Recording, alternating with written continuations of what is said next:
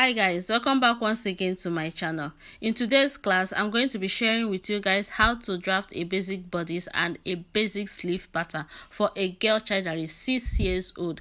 For the sleeve pattern i'm going to be sharing some tips so stay tuned. So i've just marked my baseline like i normally do in this channel. I always like creating my baseline. So from the top of the pattern i came down by one inch. That is what i always do coming down by one inch to create a baseline. So now that we've gotten our baseline the next thing i'm going to be doing is to divide my pattern paper into two. Okay so it's 24 inches and i marked the middle of it which is 12 inches and i'll create my line. So this line here will be serving as the center front and the center back. So stay tuned to see how i'll be drafting this pattern so moving on, the next thing I'm going to be doing is to divide the shoulder measurement by 2 we always divide our shoulder measurement by 2 same goes for children. So dividing that into 2 that gave me 5.25 i've already marked that.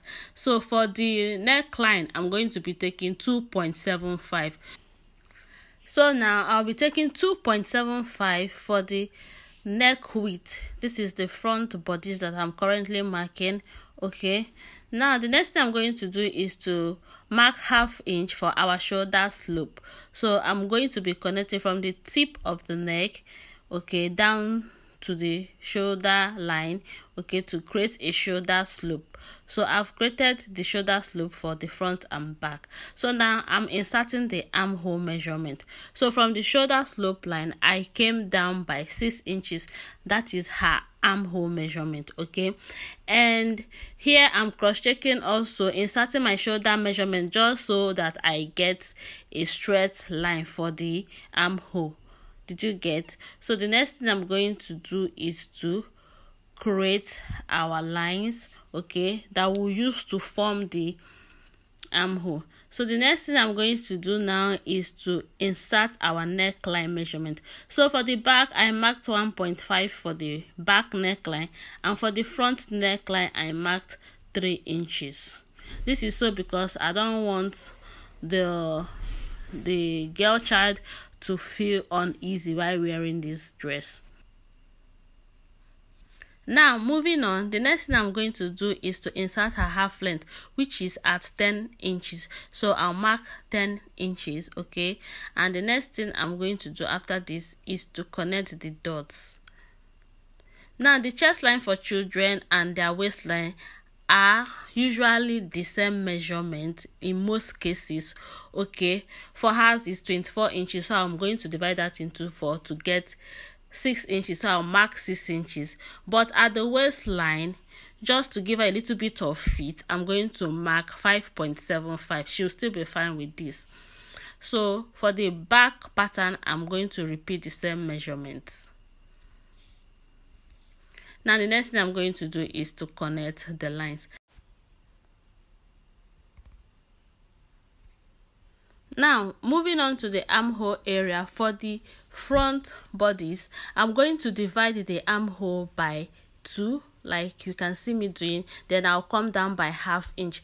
Then from the point where i came down by half inch i'm going to come in again by half inch to create her armhole curve. For adults we normally come in for the front bodies by 0.75 but because this is a child i came in by 0.5 okay now for her back bodies i'm going to divide by 2 again and i'm going to come in by 0.25 then i'll create her back armhole just like you can see me doing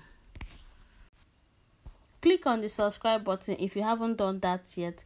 Give this video a thumbs up and also click on the notification bell so that you'll be notified each time i upload a detailed video as this one. So let's keep flowing. The next thing i'm going to do is to cut out our basic bodies. So like this our front and back basic bodies is ready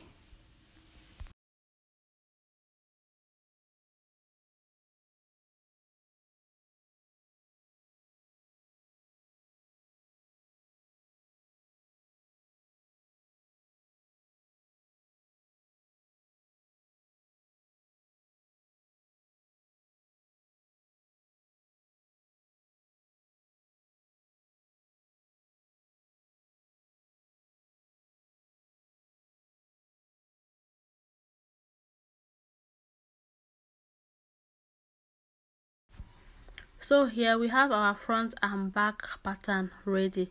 So let's move to the sleeve.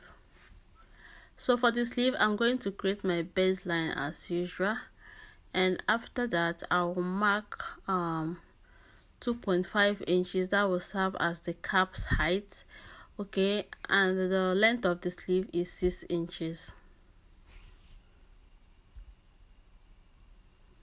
So after creating the dots the next thing i'm going to be doing is to um indicate our cap's length which from our formula we got to be 6 so now i'm going to connect the dots. After connecting we now have our sleeve. We have from the tip of the sleeve to the cap side and from the tip to the full length of the sleeve. Now this is the cap's length that's where we have it. So i'm going to be connecting from the tip of the sleeve to the cap's length where we indicated. And I'll go I'm going to be doing this for the front and back. So this is the back part okay? I'm going to divide it into two first and mark. Then this my tape measure I'm going to divide it again. That is to say this line that slanted line that we've created we are dividing dividing it into four so now i'm going to mark them out so now for the front, I'm going to divide only by 2 and I will mark also. Now moving on to the back. From this point that I just touched, I'm going to go up by half inch and from this point also I'm going to come down by 0.25 okay and I'm going to use my armhole curve to connect these dots to create our armhole for the back. So this is the back armhole. Note, if you did not get this, you can replay so that you capture everything. Okay, I don't want you to make any form of mistake. Observe. Observe closely to see how I'm placing the armhole curve. Okay. So just take it one step at a time. So now we have our back armhole and for the front armhole i'm going to come down by half inch just like you see me do and i'm going to connect it this way okay? And i'll flip to the other side and also finish the armhole curve. So here we go.